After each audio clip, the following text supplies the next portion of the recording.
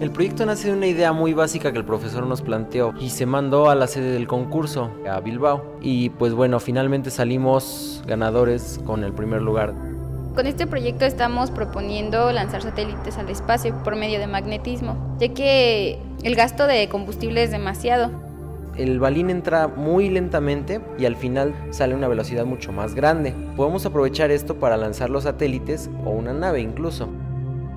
También propusimos extraer basura del espacio por medio de un resorte. Al darle una dirección y darle un poco de arranque, lo que pasaría es que avanzaría de una manera donde no necesitara una energía para moverse, sino la propia inercia del movimiento. A mí me encantaría ir al espacio, me gustaría conocer cómo es afuera de la Tierra, ¿no? Y conocer otra cosa. Creo que sería más que un sueño. Nos gustaría ser los primeros politécnicos en el espacio. Soy Ricardo Pérez. Y yo soy Wendy Valencia y somos orgullosamente politécnicos.